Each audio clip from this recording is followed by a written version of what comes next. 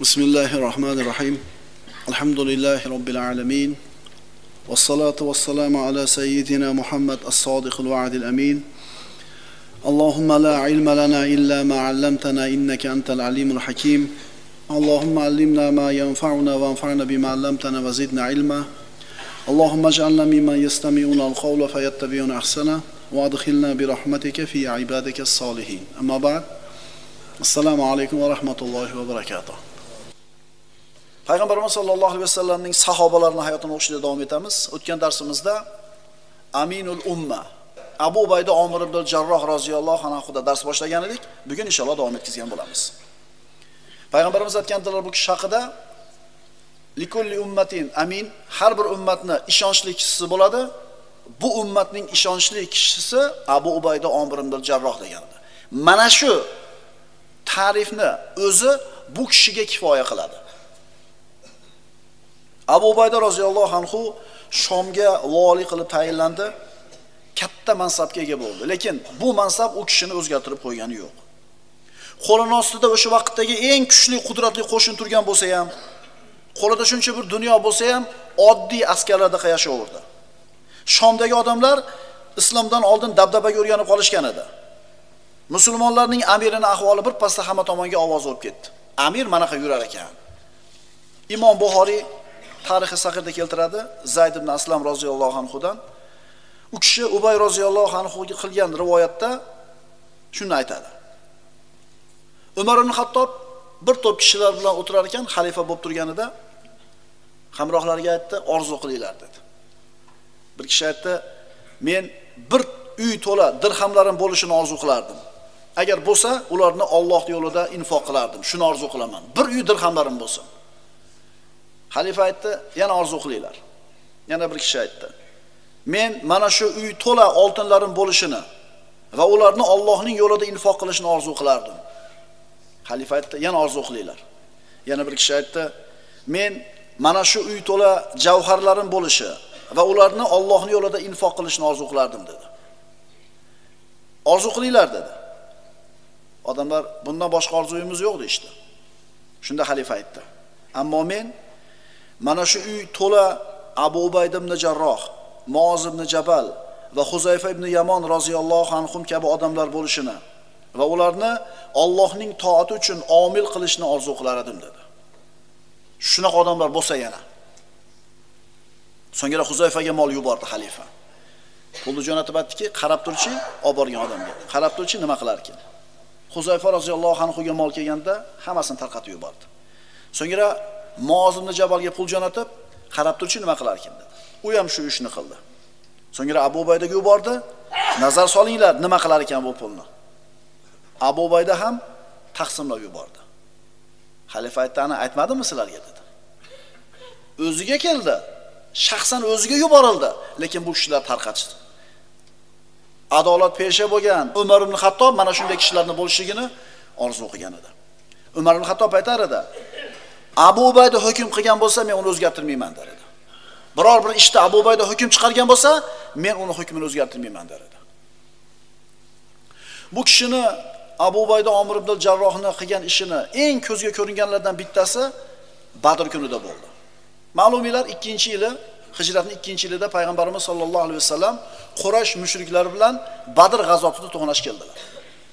Abu Ubayda roziyallohu anhu musulmonlar qatorida. Otasi Jarroh mushriklar tomonida. Jang boshlandi. Jarroh o'zini o'g'li Abu Baydaga duch keldi. Abu Bayda o'zini olib qochishga kelgan. Bir necha marta kelib o'g'lini qatl qilishga urindi, lekin bu ulug' sahoba o'zini olib qochaverishga kelgan.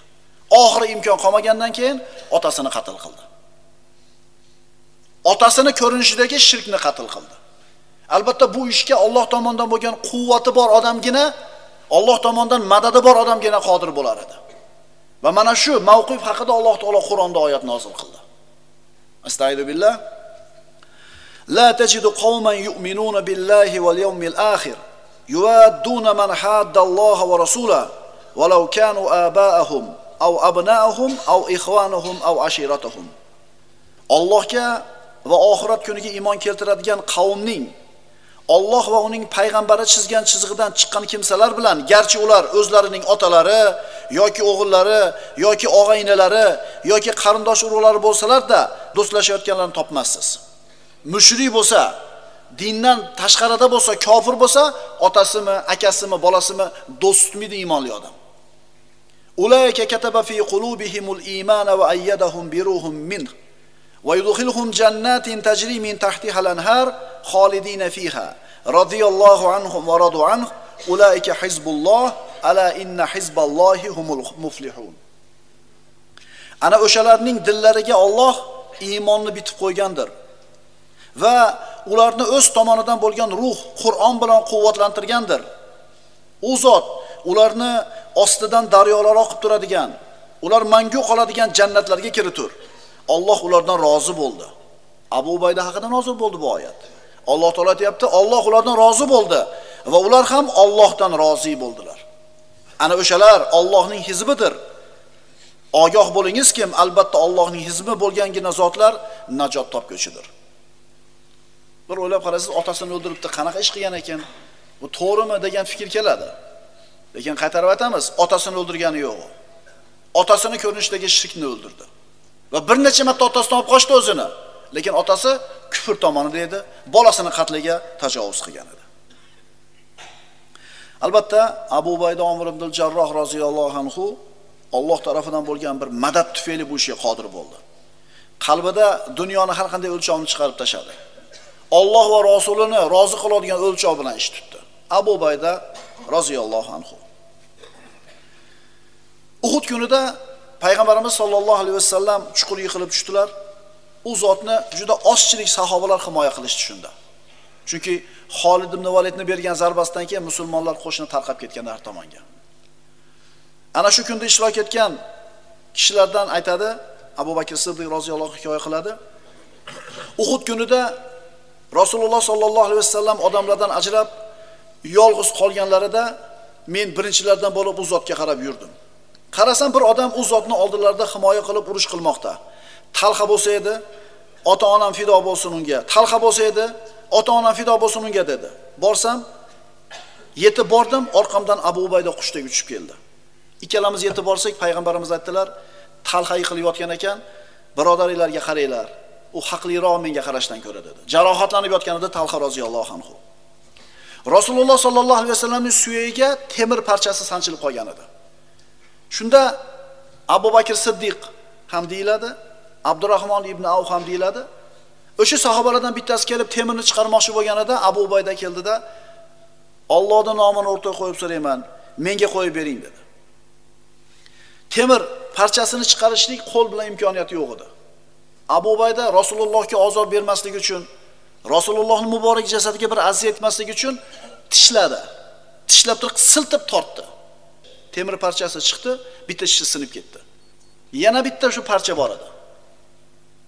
Bergi sahoba chiqarmoqchi bo'lganda buni ham menga qo'yib bering ollohni nomini o'rtaga qo'yib so'rayman dedi.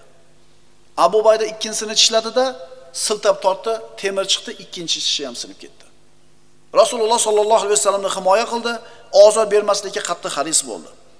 Abu baydani mana shu ikkita tushib qolgan tishi rasululloh sollallohu alayhi vasallamga bo'lgan sadoqatini bir nishoni bo'lib qoldi. Mana shu oldi ikkita tishi sinib ketgan edi. Abu bayda roziyallohu anhuning kamtarligi. U kishi kamtar bo'lgan. Kamtarlik hamma yarashadigan sifat. Kibr faqat Allohga yarashadigan sifat. Kamtar odamni hamma yaxshi ko'radi. U boymi kambag'almi farqi yo'q. Kamtarmi hamma yaxshi ko'radi. Endi mutakabbirni hamma yomon ko'radi. Boymi kambag'almi farqi yo'q. Musulmonlar qo'shini mana rasululloh sollallohu alayhi vasallam vafotidan keyin abu bakr siddiq xalifa bo'ldi va musulmon qo'shini shomda jang qilishlik uchun mana bu chiqdi. Ana shu shomda jang qilayotgan muzaffar qo'shinga musulmonlarning muzaffar qo'shiniga abu bakr siddiq Xolid ibn Validni amir qilib tayinlagan edi. Sayfulloh. Abu bakr vafot etganidan keyin umar ibn hattob xalifa bo'ldi. Endi umar ibn hattob Xolid ibn Validni amirlikdan oldi o'rniga abu ubaydani tayinladi. Va mana shu maktubni yozib shomga yubordi. Yangi xalifaning umar ibn hattobning maktubi shomga qo'shinga yetib kelganida qo'shin shu paytda bir qattiq jang ustida edi. Jang avjiga chiqqan edi. Abu ubaydaga maktubni berishdi. Umar ibn Xattobning maktubini o'qidi, Abu Bakrning vafot etganligini bildi. Xolid ibn Validni amirlikdan bo'shatilib, o'rniga o'zi bo'lganligini bildi. Jang avjida turibdi, Xolid ibn Valid jangda ichida. Maktub yashirib qo'ydi. Jang musulmonlarning g'alabasi bilan nihoya topdi. Jang tugadi, qo'shinlar o'zini muaskariga, qarorgohiga qaytdi. Xolid ibn Valid roziyallohu anhu kelganidan keyin maktubni unga tutdi. Xabarni unga yetkazdi. Umar ibn hattob Abu Ubaydaga yozgan maktubida shunday degan edi. Bizlarni zalolatdan hidoyatga boshlagan, zulmatlardan nurga chiqargan Allohdan taqvo qilishingni vasiyat qilaman. Zero undan bo'lgan taqvogina qoladi. Boshqa narsalar foniy bo'ladi. Seni Xolidning qo'shiniga amir qilib tayinladim. Ularning ishini sen boshqar, sen shunga haqlisan. Jang tugadi. Xolid ibn Validga xabarni Abu Bayda yetkazdi. Xolid xabarda eshitdi, maktubni o'qigandan keyin aytdiki: "Ey Abu Bayda, Alloh sizga rahmat qilsin. Xat kelishi bilan nima uchun menga darrov xabar qilmadingiz?" dedi. Abu Bayda aytdi: "Vallohi sizni jangingizni buzib qo'yishni istamadim. Dunyo sultonligini istamaymiz va dunyo uchun amal qilayotganimiz yo'q. Hammamiz Allohning yo'lidagi birodarlarimiz" dedi. Men amir bo'lsam ham shu maqsad, siz amir bo'lsangiz ham shu maqsad. Shunda Xolid roziyallohu anhu odamlar orasida turib, sizlarga amir qilinib, bu ummatning eng ishonchli kishisi tayinlandi dedi. Moqtadi. Abu Bayda turib aytdiki, men Rasulullohning Xolidun sayfun min suyufillah. Xolid Allohning qilichlaridan biri degan eshitganman dedi. Bir-biriga bo'lgan munosabatni ko'ring. Bir-biriga nisbatan bo'lgan muhabbatni ko'ring. Qadrlashni ko'ring bir-birini.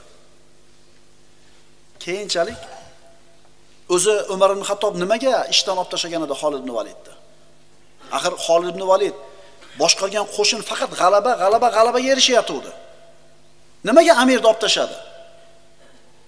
Umar ibn Xattobning oldiga keyinchalik Xolid ibn Valid kelib Madinada aytadi: "Ey Amiral Mu'minin, nimaga meni ishdan bo'shatdingiz?" dedi. Xolid roziyallohu anhu Banu Mahzumdan. Umar ibn hattob Adiydan.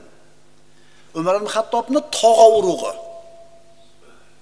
Onasi Banu Mahzum urug'idan bo'ladi. Ya'ni o'zini tog'alaridan Xolid ibn Valid. Umar ibn hattob bilan Xolid ibn Valid mana bunday katta bo'lgan bir-biri bilan musobaqalashib. Qarang qanaqa yigitlar bo'lgan-a. Tog'a jiyanlarda nimaga meni ishdan olib tashladingiz dedi. Xalifa aytdi: "Ey Xolid, men sizni yaxshi ko'raman" dedi. Xolid ibn Valid yana so'radi: "Ey Amiral Mu'minin, nimaga meni bo'shatdingiz?" dedi. Xalifa yana javob berdi: "Vallohi men sizni yaxshi ko'raman." Yana so'radi: "Ey Amiral Mu'minin, nimaga meni bo'shatdingiz?" Ya'ni biror ayb o'tdimi? Biror qo'shinda bir mag'lubiyat, jangda mag'lubiyatga uchradi, nima o'tdi mendan? Endi xalifani uni ishdan bo'shatishlikka ko'rsatgan sababini ko'ring. Ey Abu Sulaymon dedi xalifa. Sizni o'zingiz sababli bo'shatdim. Allohning yo'lida sizga berilayotgan narsa sababli bo'shatdim. Odamlar fitnaga uchramasin deb sizni ishdan bo'shatdim. Chunki Xolid ibn Valid roziyallohu anhu boshlaganki jang musulmonlarning g'alabasi bilan nihoyat topayotganini, Xolid yengilmayotganligini ko'rgan ayrim musulmonlar g'alabani Alloh tomonidan emas, Xolid tomonidan ekan deb gumon qilib qolishligidan ehtiyot bo'lgan edi xalifa. Tushunyapsizmi? Allohga bo'lgan suyanishi, Allohga bo'lgan tavakkulidan ko'ra Xolid biz bilanmi bo'ldi endi yengamiz deb turib, Xolidga suyanib qolishmasin degan maqsadi bor edi xalifani. Bo'lmasam yutyapti janglarda hammasida.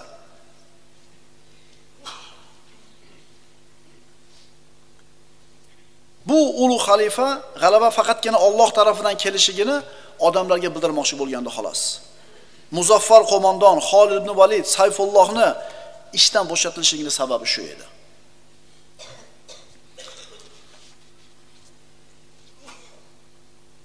Abu Bayda roziyallohu anhu ning vafoti. Abu Bayda roziyallohu anhu amir bo'lgan qo'shin Shomda g'alaba ketidan g'alabaga erishar edi.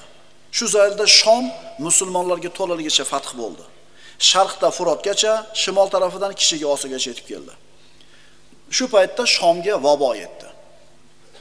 Juda ko'p odam mana shu vabo tufayli vafot etdi. Shomda mana shu kasal vabo tarqaganligini shov-shuv har tomonga tarqaganidan keyin Abu Ubaydaga xalifadan maktub keldi. Maktubda xalifa Abu Ubaydaga shunday deb yozyapti. Meni sizga bir hojatim chiqib qoldi. Sizdan boshqa kishi men uchun uni hal qilib bera olmaydi. Agar mana shu maktubim sizga kechasi yetib borsa, tong otmasdan meni tomonimga qarab chiqing. Agar maktubim sizga kunduz yetib borsa, kech bo'lmasidan men tomonga yo'l olishingizni talab qilaman dedi. Abu Bayda maktubni o'qib bo'lganidan keyin xalifani nimani nazarda tutayotganligini tushundi. Javob yozdi. Endi hozir xalifani buyrug'i keldi, itoat qilishlik vojib. Maktubni oldi chiqish kerak. Bu buyruq. Agar itoatsizlik qilsa gunohkor bo'ladi. Abu Bayda maktub yozdi.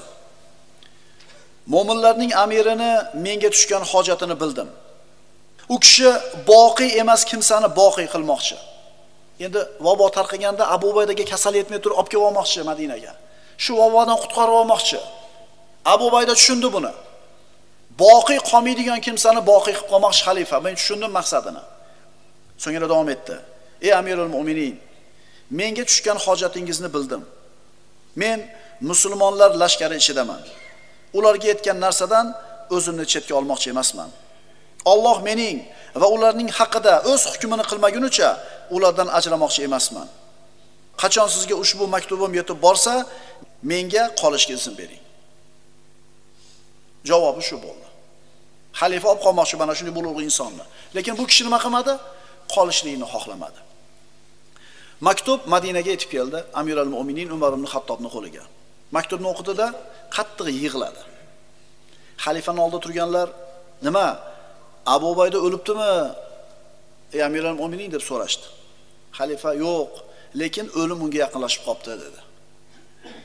Abu Bayda roziyallohu anhu ana shu vabo tarqagan Shomda qolar ekan, odamlar orasida yurib, ularni sabrga chaqirdi. Oxiri dard u kishiga ham xuruj qildi. Sinchalog'iga kichkina bir narsa chiqdi. Shu narsa tufayli keyin kasal ziyoda bo'ldi. Odamlar kelib tasalli bermoqchi bo'lsa, hech narsa emas deb qo'yar edi. U kishi aytardi, Allohdan umidim bor. Shunga ham baraka bersa ajab emas derdi. Oxiri shu kasal tufayli yotib qoldi. Dunyodan ketar vaqtda qilgan vasiyati. Ibn Asokir Said ibn Abu Saiddan rivoyat qiladi. Abu Ubayda Omir ibn al-Jarroh roziyallohu anhu Urdunda vaboga chalinganida, u kishining qabri Urdunda, Iordaniyada. O'sha yerda hozir bo'lgan musulmonlarni chaqirib, men sizlarga bir vasiyat qilaman. Agar uni qabul qilsangiz, yaxshilikda bardavom bo'lasiz. Abu baydani vasiyati. Namozni o'qinglar, zakotni beringlar, Ramazon oyi ro'zasini tutinglar, sadaqa qilinglar, haj qilinglar, umra qilinglar. Bir-biringizga nasihat qilinglar, amirlaringizga nasihat qilinglar, ularni aldamanglar. Dunyo sizni halok qilmasin. Agar bir odam 1000 yil yashasa ham, albatta mening siz ko'rib turgan holimga tushishi bor. Alloh bani odamga o'limni yozgandir, ular hammalari o'ladi. Ularni eng farosatlisi o'z Robbisiga itoatkorroq bo'lgani va qaytar kun uchun ko'proq amal qilganidir. Vassalomu alaykum va rahmatulloh. birodarlar o'lim hammamizga hukm qilingan. Tug'ilgan kunimiz bor, bu punkti bor. Oyoqqa turdik, gapirishni o'rgandik, o'qishni yozishni o'rgandik, pul topishni o'rgandik, oilali bo'ldik, farzand ko'rdik. Shu punktlardan oxirgisi nima? O'lim. O'lim. Mana shu shart bilan dunyoga kelganmiz. Chunki dunyoga sizni kirishligingiz ixtiyoringiz bo'lmagandek, endi chiqishda ham nimangiz yo'q, ixtiyoringiz yo'q. 3 kunga mashinani oldingiz ijaraga, 3 kun o'tdi, egasi keladi, ber mashinani deydi. May qaytarib olasiz, yuraversin, qolaversin menda desiz, ey, qanaqa shart bilan olgansan? 3 kunga deganmisan, 3 kunga, 3 kun o'tdi, qaytarib ber deydi. Xuddi shunga o'xshagandek bu hayotni Alloh taolo qaytarib oladi. Faqat bilmaymiz kim qachon ketishligini.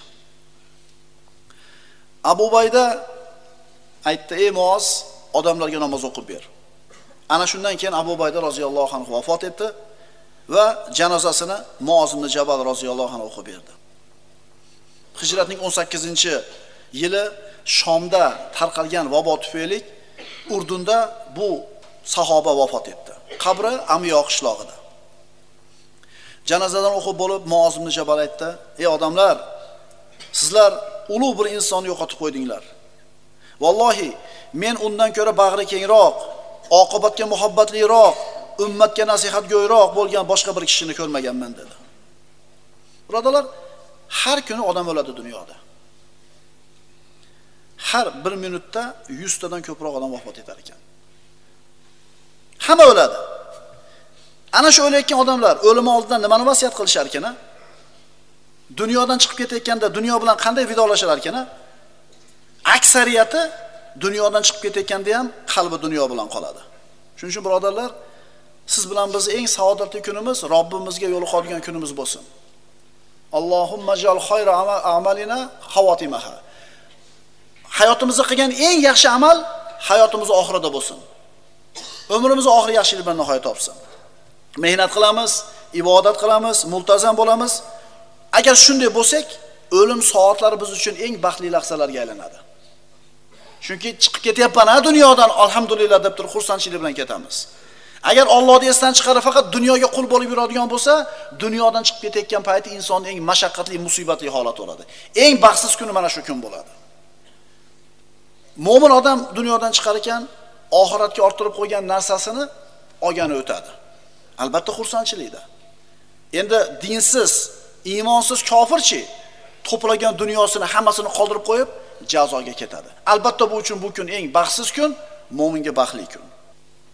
Alloh subhanahu va taolo barchalarimizni oqibatlarimizni xayrli qilgan bo'lsin. Aqulu qawli hada va astagfirulloh li va lakum. Assalomu alaykum va